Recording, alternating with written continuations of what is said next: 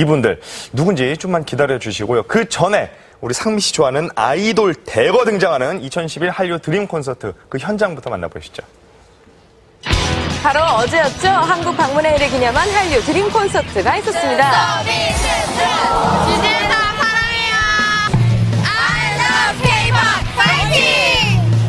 공연장에는 취재진들로 북새통을 이뤘는데요. 정규 3집 앨범의 타이틀곡인 The Boys로 컴백을 앞둔 소녀시대가 먼저 공연장에 도착. 짐승돌 2PM의 등장으로 2만 8천여 명의 국내 팬들이 환호했습니다. 자, 뒤이어서 시크릿, 그리고 비스트, 포미닛, 엠블랙 등 한류를 대표하는 가수들이 총출동했었죠.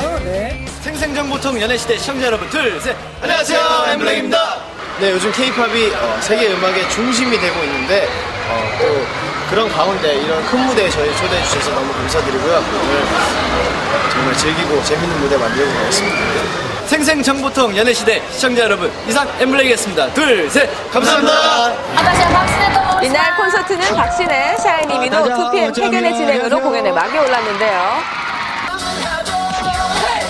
엠블랙은 완벽한 가창력과 파워풀한 퍼포먼스로 무대를 압도했고요.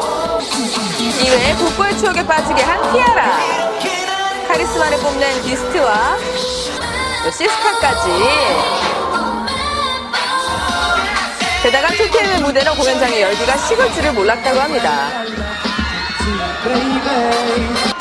또 소원을 말해봐로 무대를 꾸민 소녀시대의 짜릿한 퍼포먼스까지 빼놓을 수가 없죠. 마지막 무대는 가수 김건모 씨와 아이돌 그룹들이 함께 아리랑을 합창하며 공연을 마무리했는데요. 또 한 번 세계의 한류를 알릴 수 있는 좋은 기회가 된 것 같습니다.